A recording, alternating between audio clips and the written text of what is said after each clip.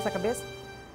6 horas e 33 minutos, eu volto com as ocorrências do interior do estado. Eu vou lá para falar de Tabatinga, né? Que um homem que não teve o nome e a identidade aí divulgada. O que, que aconteceu com ele, Manu? Foi encontrado morto. A Cheyevna Nascimento vai trazer as informações para gente. Olá, Shey. Olá, Mariana. Exatamente. O corpo do homem foi encontrado ao lado de uma igreja do município de Tabatinga, depois que a polícia recebeu uma denúncia anônima pela linha 190. Chegando no local, eles constataram que o homem teria sido vítima de agressão física. A identidade e a idade dele não foram reveladas e o corpo foi encaminhado ao Instituto Médico Legal. E continuando ainda no município, um homem foi preso, é, acusado de ser suspeito de ser o autor do homicídio do professor de 44 anos, dia 22 de agosto. Chegando na delegacia ao prestar depoimento, ele negou todo o ocorrido, dizendo que não tinha participação no homicídio, mas a polícia continua investigando o caso para descobrir aí qual foi a intenção de matar o professor. E em Maués, o agricultor Rosimar Salles, de 31 anos, morreu depois de ser vítima de agressão física também, agora por detentos da unidade prisional em que ele estava. A polícia chegou a informar que ele foi levado à unidade hospitalar, mas acabou morrendo no caminho do hospital.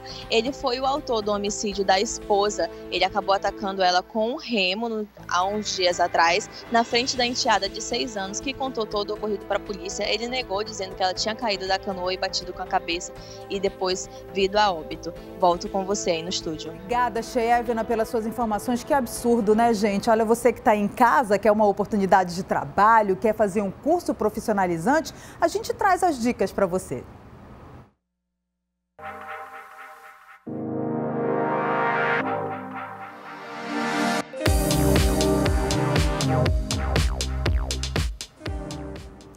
Implementar a educação em tempo integral em no mínimo 50% das escolas do país é uma das metas do Plano Nacional da Educação.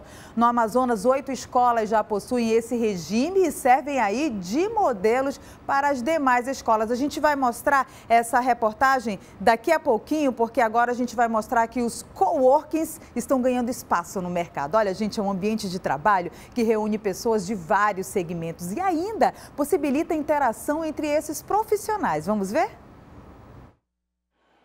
Ambientes pensados especialmente para o trabalho autônomo, até mesmo para empresas que buscam um ambiente flexível e com um custo mais em conta. É o caso desta organização sem fins lucrativos que trabalha com famílias ribeirinhas de todo o estado. A entidade depende de doações, por isso a necessidade de um espaço simples e em conta. Nossa intenção é sempre manter o nosso orçamento bem apertado administrativamente para que a gente possa aplicar o máximo de recursos nos ribeirinhos, que é onde a gente foi chamado para servir, e aqui a gente achou as duas coisas, uma boa localização e um valor é, que nos atendesse, além da estrutura. O modelo chegou no Brasil no ano de 2007. Desde então, existem mais de 100 espaços em todo o país. Manaus conta com 10 locais de coworking, todos localizados na zona centro-sul da capital. Coworking é uma nova forma de pensar no ambiente de trabalho o espaço reúne profissionais de vários segmentos. As salas ficam bem próximas uma das outras e isso possibilita a interação entre os profissionais. Aqui você encontra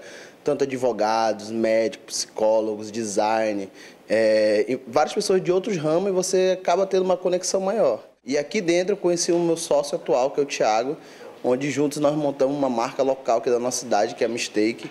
O espaço tem vantagens como essa, que trouxe ao Anderson um novo negócio. Outro ponto positivo é o acesso. Aos fins de semana, se o usuário quiser vir até o espaço, pode entrar pelo aplicativo de celular. É rápido, basta fazer o login, encostar o celular no sensor e pronto, entrada liberada. A ideia é que a gente possa controlar a entrada e saída dos clientes daqui que eles possam ter a liberdade de vir para cá em outros horários onde não tem ninguém aqui. A gente pode liberar para eles no aplicativo uma vinda por exemplo, eu preciso trabalhar no sábado à tarde, que é um momento que a gente não abre. Os valores são variados. Alguns pagam um espaço de atendimento simples, 20 reais a hora. Salas maiores e privadas chegam a custar 2 mil reais. Neste espaço, o cliente tem disponível água, café e internet e não precisa se preocupar com as contas de água ou energia elétrica. Agora sim a gente volta a falar de educação de tempo integral, implementar a educação em tempo integral em no mínimo 50% das escolas, como eu falei anteriormente, é uma das metas do Plano Nacional da Educação. Aqui no Amazonas, Oito escolas já têm esse regime. Olha, elas servem de modelo para as demais escolas da nossa região. Vamos ver.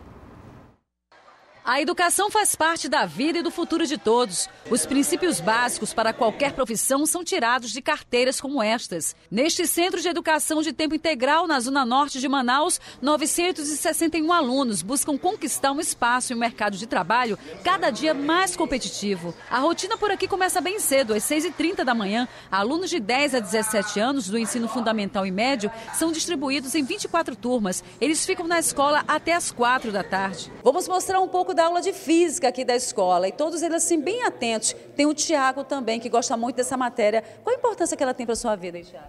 Bem, para mim na minha vida ela pode me ajudar nos vestibulares como PSC e CIS e também dá para aprender muita coisa através dela. O professor de física estimula os adolescentes. Utilizando os equipamentos aqui no laboratório, eles conseguem aprofundar mais, cada vez mais esse conhecimento. O conhecimento também está presente nas aulas de literatura, na biblioteca. Os estudantes aprovaram a aula fora da sala. Sair da sala de aula para um, um ambiente mais descontraído. É ficar bem mais interessante a aula. Assimila mais, melhor as coisas, a, a explicação. E... Já dá para a gente ter mais noção do que, que a gente vai aprender, entendeu?